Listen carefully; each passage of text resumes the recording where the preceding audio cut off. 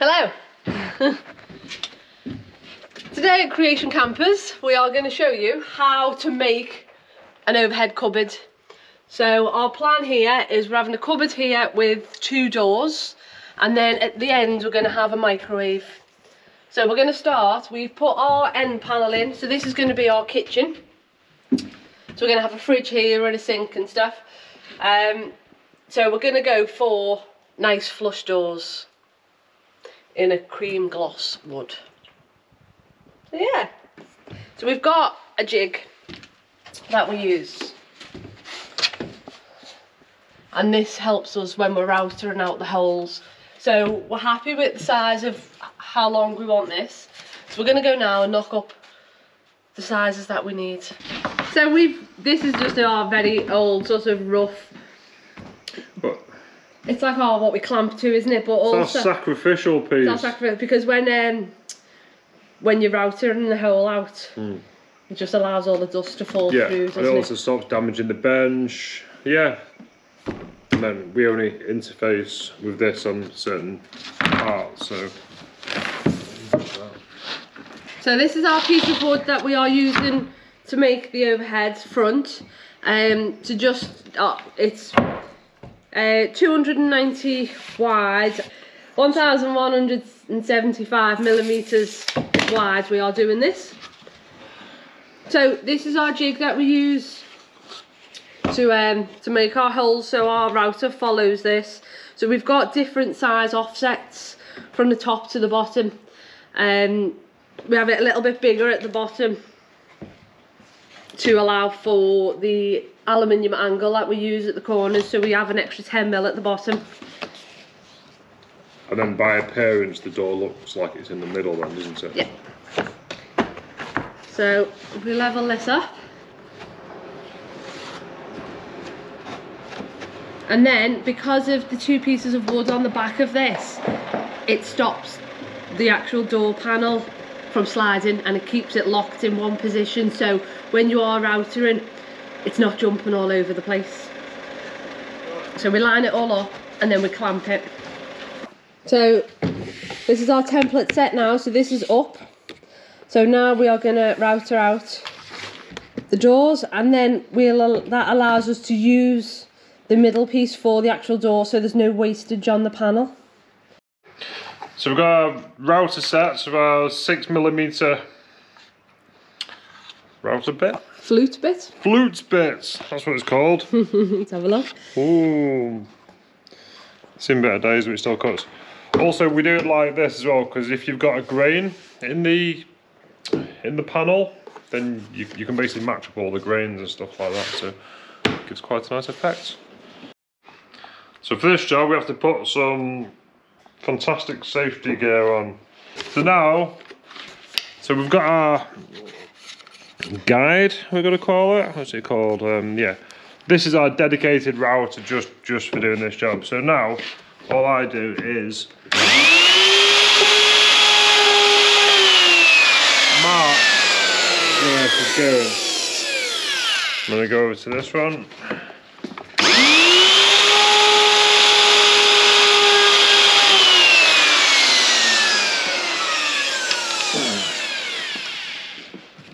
And get our nickel drill and drill down the centre.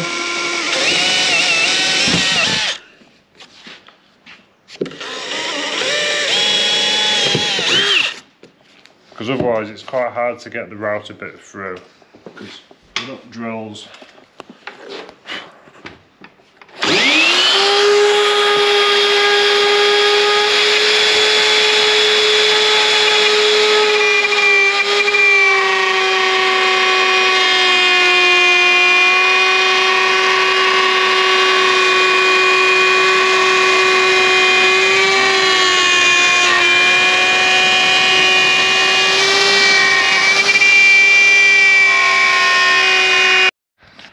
So I don't know if you noticed when I was going round,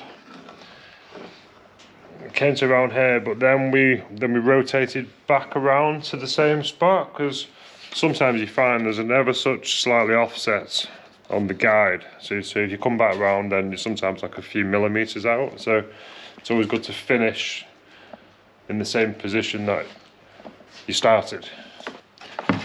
And another thing what's always a good idea to do is mark which one's which. So we'll go up, obviously there's a mask on these, and what should we say, one, up and one there. So draw Or should we say left? So no, this Oh. is the left and that one's the right. So here, I was just going to go one and two, but okay. makes it a bit more clear though, left and right, doesn't it?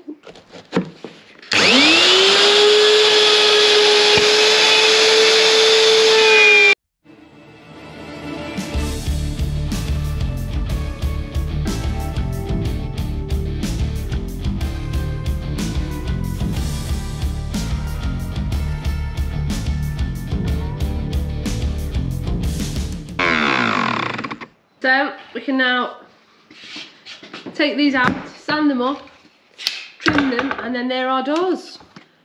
So what we're going to do now is we're going to sand all the edges, make it perfect. And then what we do when using T-trim on the uh, the side where the lip is, just put a gentle, very small sort of 45 degree edge on it, just so when you're knocking your T-trim on, it doesn't like chip any of your decorative coating on your wood.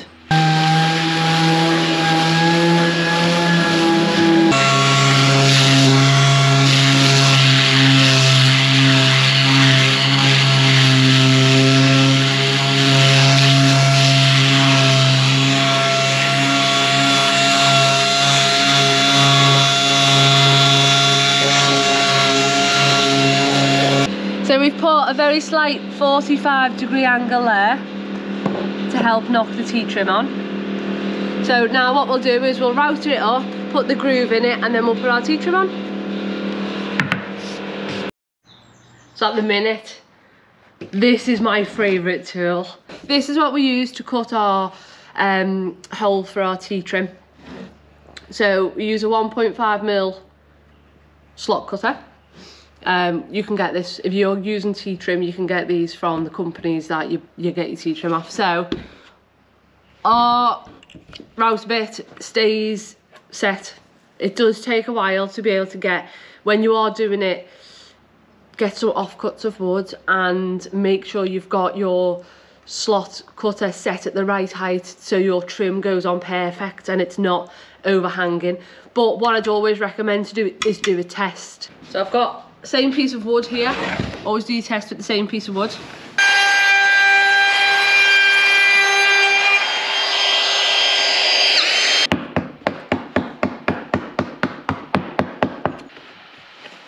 So yeah, happy with the router settings.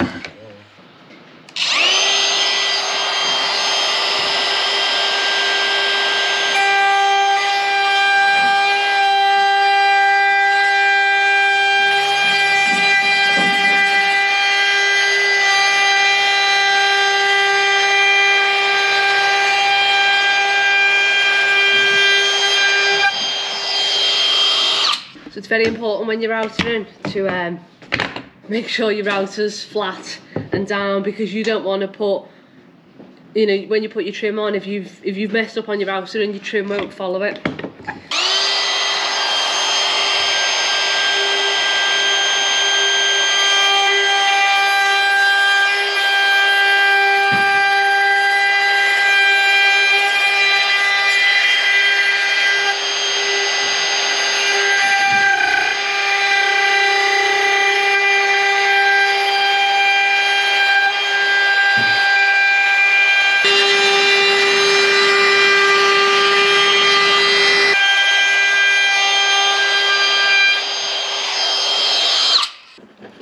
Make sure the join of our trim is at the top of the door on it overhead because then um, you can't really see the join line. Whereas if it's at the bottom, visually you can see it. So always put your, your join at the top.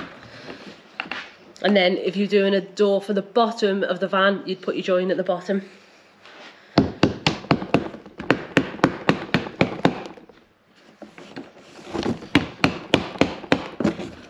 The thing is when you're using gloss wood, doesn't clamp too well.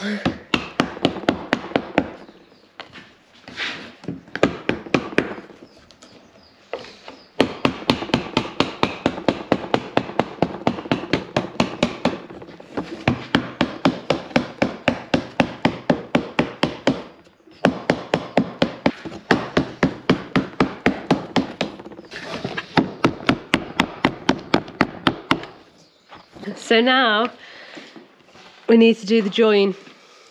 So we need to cut this so it'll be a nice perfect join. So what I do, so I'll get some snips.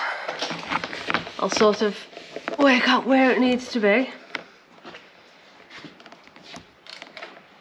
And I'll put a little mark on it. And then I'll hammer this in here and go back.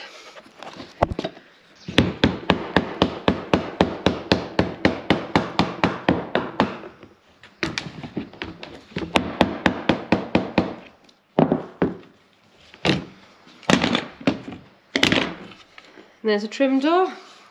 So what I'll do is I'll just check the back. Obviously we've got the protection on, but I'll just make sure it's hammered in all the way around and that there's no gaps. And also feel with your fingers because you can feel if it's if it's not smooth.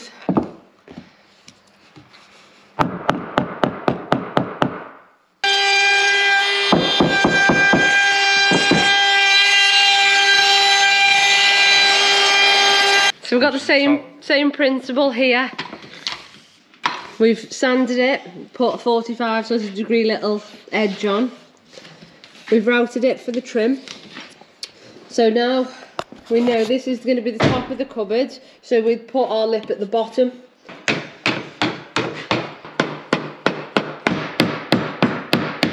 So we're now going to be putting these little butt hinges, is that what they're called? Flush hinges. Flush hinges. So I always set them with the the P or the 9, whatever, whichever way you're looking at it, see that? P. So it's a P. What about if you go to that side? Then it's a nine. It's a 9. anyway, let's get our P's and 9s the right way. So we always set this so it's level with the bench. You can see it's hitting the the lower of the bench there. And with the the P or the 9 sticking towards the outside.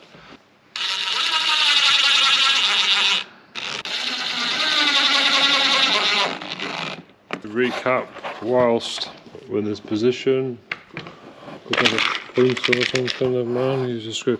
So we've got the the 9 facing out. The reason we've got it facing out is because when we land it, and we can land this against our work. So we've got, we set it so the flat bottom of the door, we line the hinge up air. Also, a little tip when you're doing this, if you're working with wood um, that has got a protective film on it, peel the corner. Just because when you're trimming it, obviously the trim goes over. So if you just peel the corner, when you do come to remove all your protective film, you can grab the corner you've already pre-peeled. Otherwise, you're like you're picking at it, and it's a bit of a pain. So we basically clamped this piece onto the bench, but I always like to leave a bit of bench sharing. So when you when you drop through, it doesn't go beyond. so now while we're in this position, we're going to put the catches in. So for these particular doors, so we've obviously done these doors, this this size door previously. So we've already made a jig for the catch. So the holes we cut are uh, 30, 34, I don't know why they're 34 by 50. So these are Evo catchers that we're using. So generally, it's 15 millimeters from the outside. So right on the outside of the trim here, it's 15 mil back, then 50, and there's a 34. 34. But because we've got a lovely little jig, so we've already worked out our sensors and all that sort of stuff, so we can just put it straight in the middle, draw around it. So now I'm just going to drill the corners.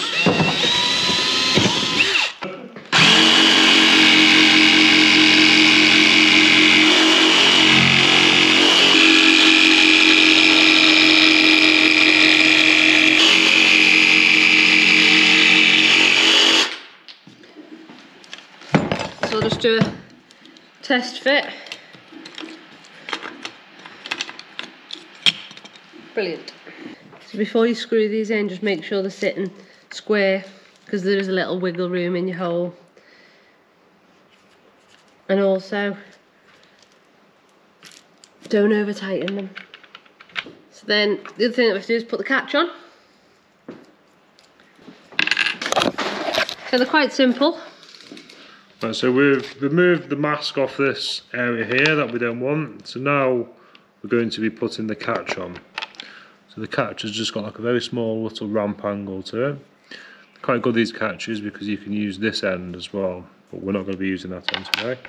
So it's going to line it up there. A little sort of cut there, cut there. Can we see the cuts? That's the question, just about. So we're going to be cutting along it. so now that will now slide over there quite happily. And then we're going to just quickly there's a bit of the trim off.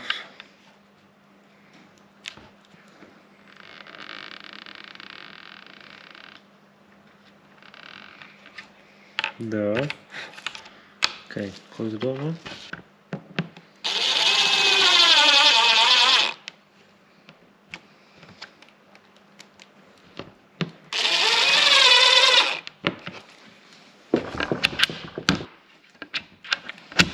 You need the ramp, can you see that? You need the ramp angle to um, operate nicely when it catches. So our cupboard, cupboard is here. So we're now, this angle at the top here is very, very minimal. So we've not actually put an angle on this one because they sink into the carpet quite nicely. But here is a bit more pronounced. So we're just going to get our handy dandy bevel and we're going to match match the wall to the this uh, which oh, that's, that's oh, close enough for what we want. And I always go a little bit more. The reason I go a little bit more is because it doesn't really matter if the top doesn't sit that well but then it it really pushes itself into the carpet. So we've now got our angle. So what we do is take this to the saw. So I'm now gonna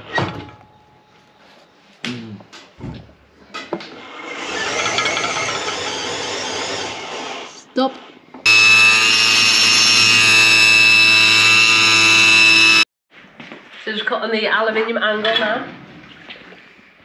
on a wood saw Yes, it does it.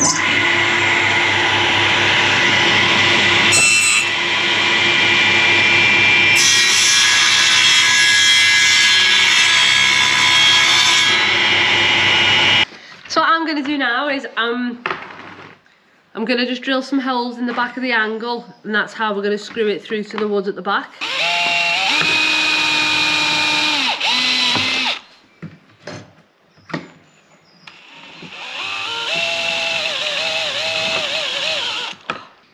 So now this is the the one with the angle on it, the one the bottom of the cupboard. So I don't know if you've ever used a Kreg system before. So we like to use Kreg's going into the wall because of the angle and all that sort of jazz. So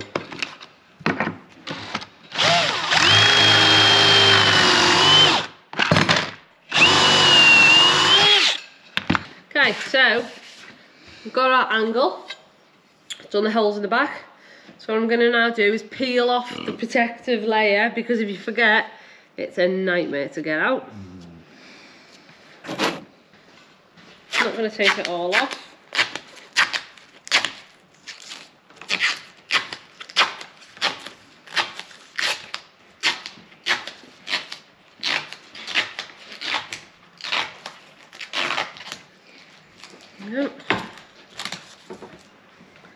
So we're going to make sure it's lined up.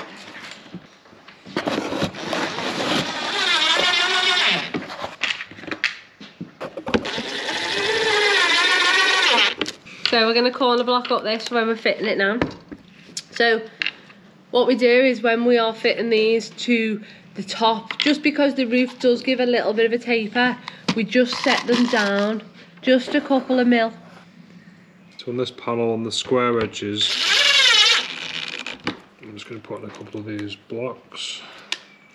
Uh, as we mentioned earlier, don't forget to peel it.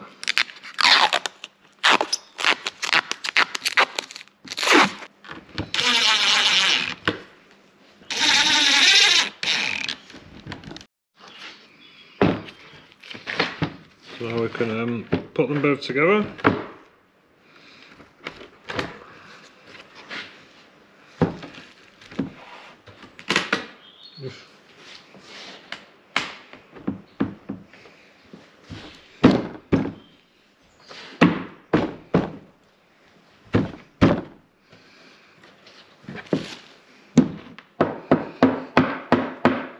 Three sixteens.